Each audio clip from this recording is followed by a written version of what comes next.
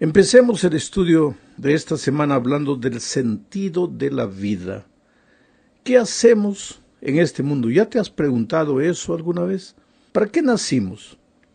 ¿Somos seres reales o imaginarios? ¿Somos frutos de la casualidad? ¿Por qué estamos en este mundo? Bueno, solo hay dos posibilidades, dos puntos de vista válidos, porque la verdad es que nadie puede negar la realidad de nuestra existencia, aunque los filósofos se deleiten en jugar con palabras. Tú estás allí, escuchándome. Tú sientes dolor, sufres, tienes hambre, sed, frío, calor. Tú eres un ser real. Nadie puede negar tu realidad. Entonces viene la pregunta, ¿y cómo apareciste en el mundo? ¿Por qué estás vivo? ¿Por qué estás ahí? Ahora, esto es vital, porque si eres un educador, y de cierto modo todos lo somos, los padres, los profesores, los líderes en diferentes aspectos de la vida. Y todo ser humano es un educador. Por eso Pablo escribiendo a los romanos dice que nadie vive para sí y nadie muere para sí, porque todos ejercemos una influencia en el ambiente donde nos movemos. Somos educadores.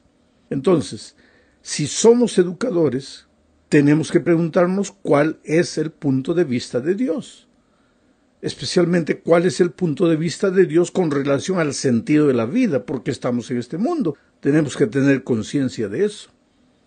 Y leamos entonces lo que dice el Salmo 53, versículos 1 y 2. Dice el necio en su corazón, no hay Dios, se han corrompido e hicieron abominable maldad. No hay quien haga bien. Voy a ir comentando el texto. Cuando el necio dice no hay Dios, está entrando en un terreno de oscuridad. Por eso dice el salmista, dice el necio en su corazón, el sabio jamás diría que no hay Dios. Negar la existencia de Dios y consecuentemente negar que estamos en esta vida porque Dios quiso, eso es necedad para David.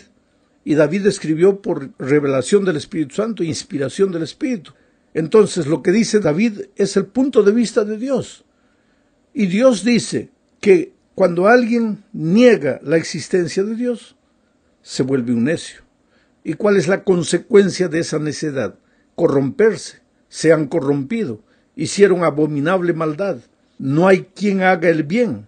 Dios desde los cielos miró sobre los hijos de los hombres. Esta es la otra verdad. Tú puedes vivir como quieras, tú puedes hacer lo que quieras, tú puedes decir que no existes, eh, Dios no existe, tú puedes filosofar, racionalizar, argumentar, lo que tú quieras, pero Dios desde los cielos mira lo que estás haciendo en esta tierra. Dice, Dios desde los cielos miró sobre los hijos de los hombres para ver si había algún entendido que buscara a Dios. Ah, mira, mientras el necio niega a Dios, el entendido busca a Dios, el sabio, el sensato busca a Dios.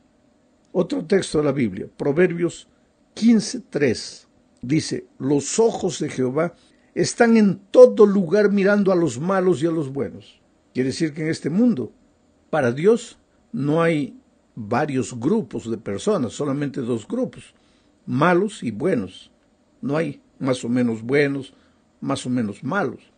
Solo dos, malos y buenos. Y en la Biblia eso encontramos muchas veces ese concepto. Cuando Cristo vuelva a esta tierra encontrará ovejas y cabritos. No encontrará ovejas, cabritos, jirafas, elefantes, no, solo dos grupos. Los que edifican en la roca y los que edifican en la arena los que temen a Dios y los que lo rechazan. Solo dos grupos. Ahora, los que lo niegan son necios, los que lo aceptan son sabios, son entendidos. El elemento central, entonces, de la educación cristiana es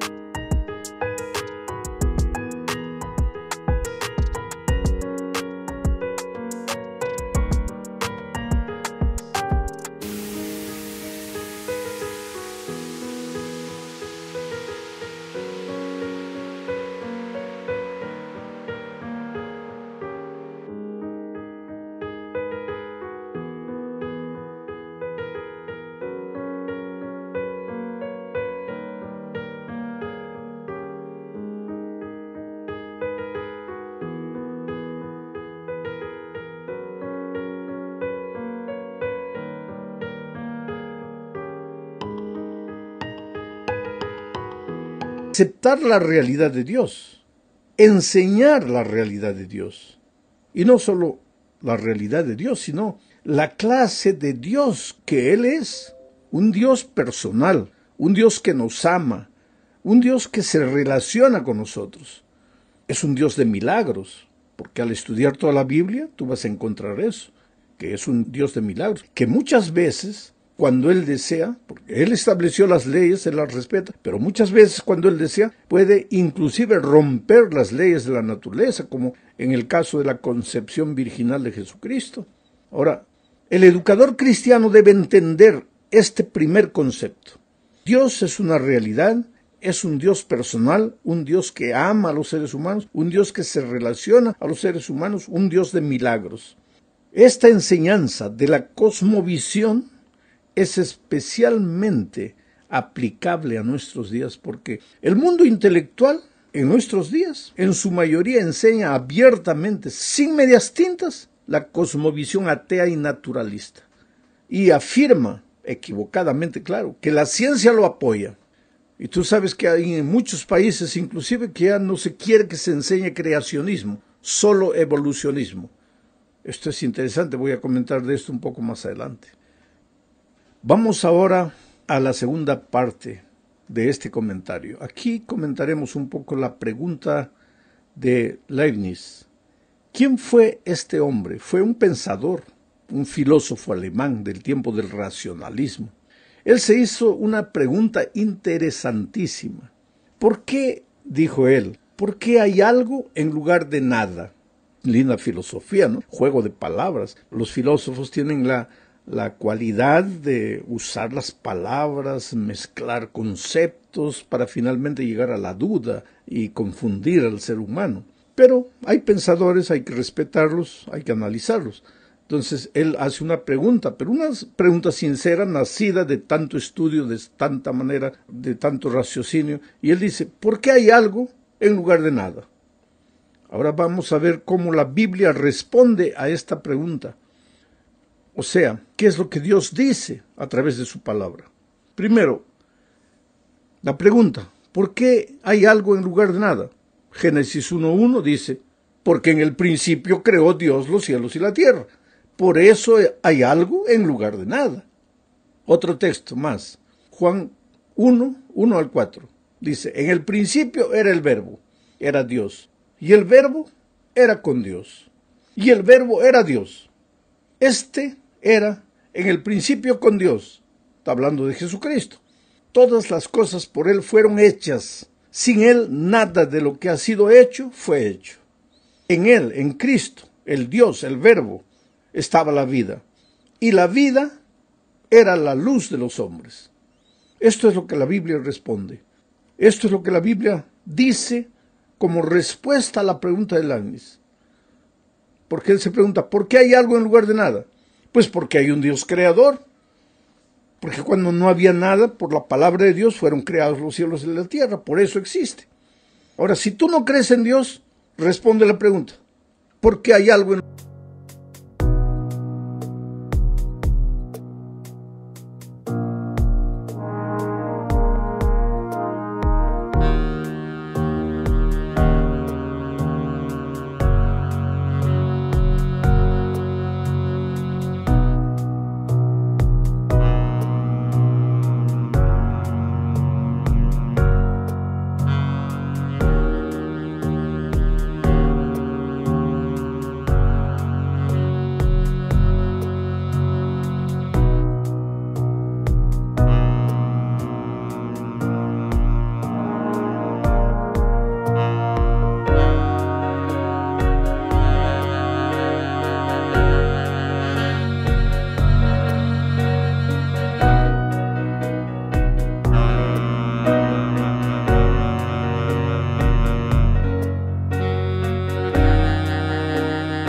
de nada. Ya no sabes qué responder. Ahí tienes que jugar con las palabras. Entras para aquí, entras para allá, y ahí llegas a conceptos que solo tú entiendes. Pero la vida es simple, ¿para qué complicarla? ¿Por qué hay algo en lugar de nada? Porque hay un Dios creador. Entonces, ¿por qué existo en este mundo? Porque hay un Dios creador que permitió que yo viniese al mundo. usó las leyes de la naturaleza, usó las leyes de la genética. Estoy aquí en el mundo. Tengo tendencias, tengo rasgos, rasgos que mi raza me dejó como herencia, mis padres. Estoy aquí en el mundo con un sentido, porque aquí viene el asunto.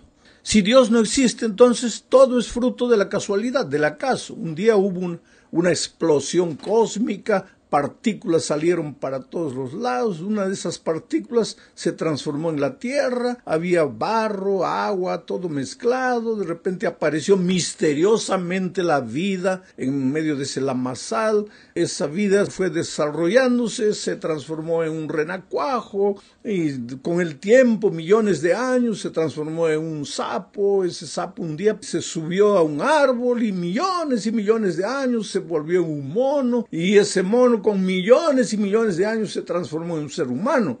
Bueno, esa es una teoría interesante, interesantísima, porque yo por más que pienso no consigo entenderla. Ahora, existe otra posibilidad. ¿Por qué la vida existe? Porque yo existo, porque hay un Dios de amor que me crió, que me trajo al mundo con un sentido, con un propósito. Ahora, yo personalmente prefiero ser fruto del amor de un Dios maravilloso que ser fruto de la casualidad.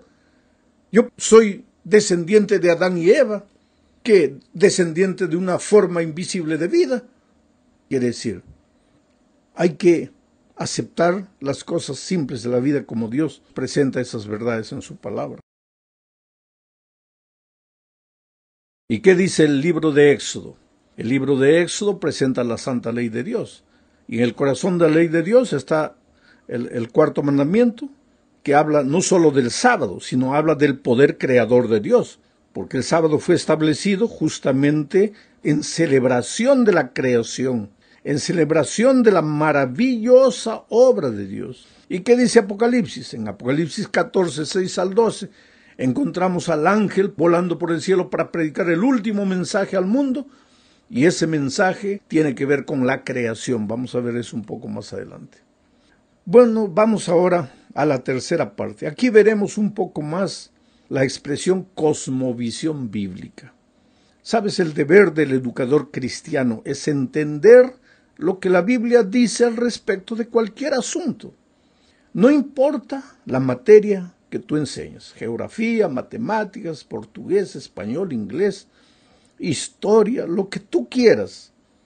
Tú tienes que prepararte para ser un buen profesor de historia, o un buen profesor de matemáticas, o un buen profesor de literatura. Tienes que ser, como educador cristiano, el mejor profesor en tu materia. Tienes que esforzarte y estudiar para eso.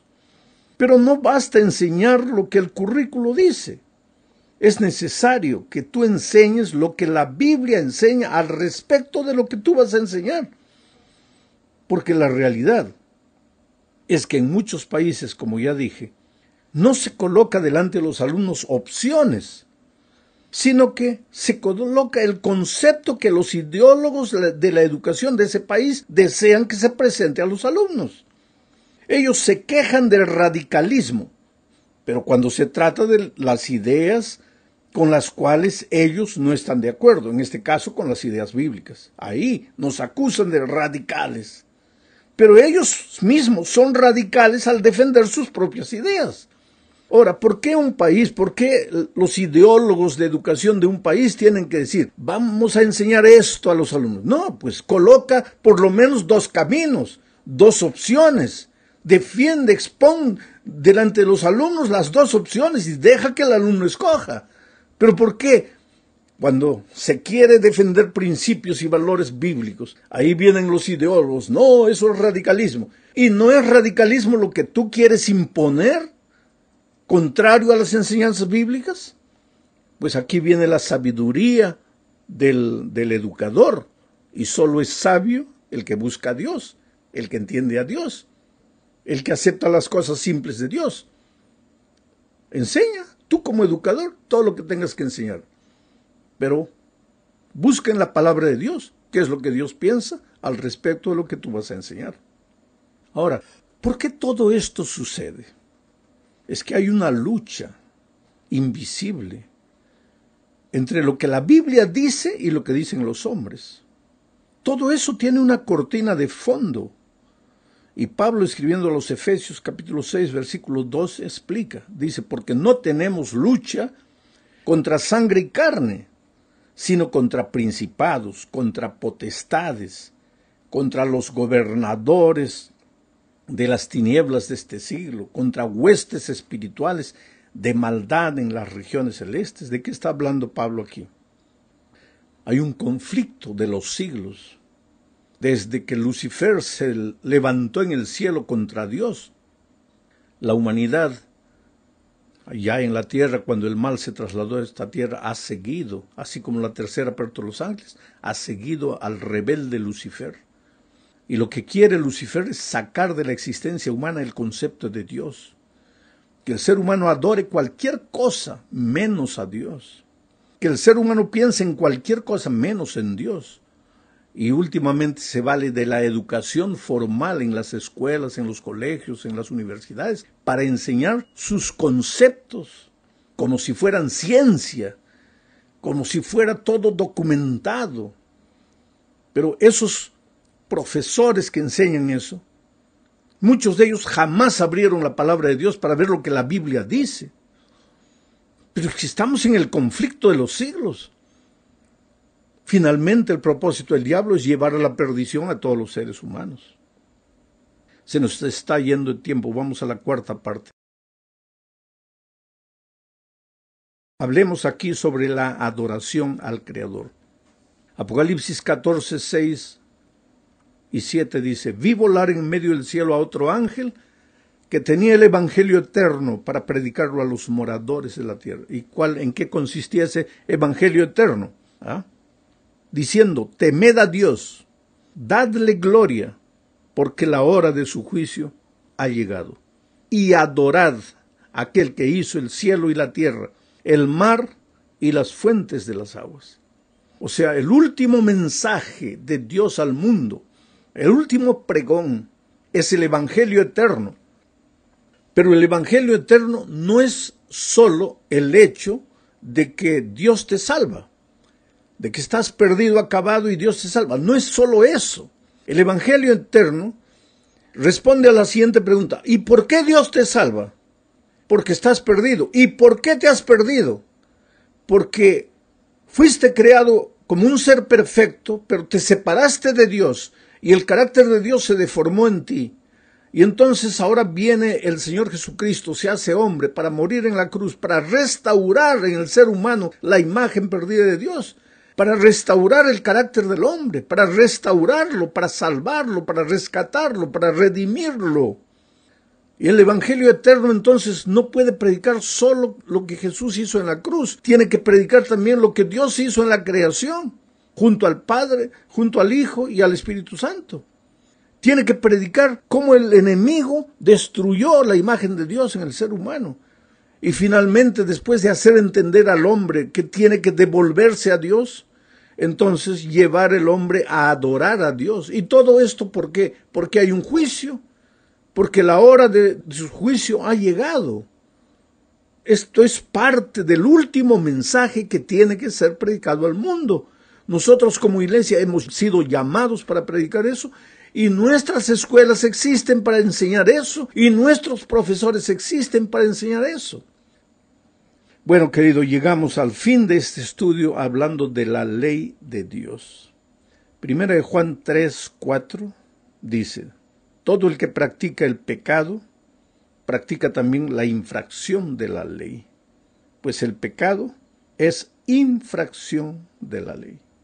Ahora, si el pecado es infracción de la ley y la ley ya no existe, entonces ya no existe pecado porque el pecado es la infracción de la ley. Y si no existe pecado, entonces Jesús nos va a salvar de qué?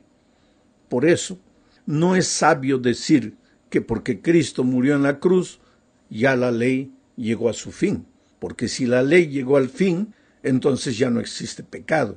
Entonces, ¿para qué predicamos la gracia redentora de Cristo? ¿De qué nos va a salvar si no hay pecado? Si ya en la cruz terminó la ley y terminó el pecado. Entonces, todo el Evangelio pierde sentido. Por lo tanto, la ley debe ser enseñada, los principios, los valores de la ley deben ser enseñados ¿De qué manera? Como un cerco protector de la vida del alumno, como un conducto de amor, un camino de amor que Dios establece para el ser humano. A mí me gusta, oye, yo soy un apasionado de la manera como Dios establece las cosas, porque Él no es radical por mucho que hay gente que acusa, no, que la Biblia es radical, que Dios es radical, no. Dios dice, mira aquí los caminos que coloco delante de ti. A los cielos y a la tierra llamo por testigos para que vean que hoy día estoy colocando delante de ti la vida y la muerte, la bendición y la maldición. Lo que la cosmovisión divina, lo que la Biblia enseña respecto de la vida y lo que los ideólogos, los seres humanos sin Dios enseñan. Yo te coloco las dos cosas delante de ti. Te aconsejo que escojas la vida, pero tú eres